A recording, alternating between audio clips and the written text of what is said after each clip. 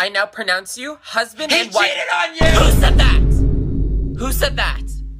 Who said that? I now pronounce you husband and He wife. slept with your sister! Who said that? Who said that? I now pronounce you husband and wife. His wife. airline's receding!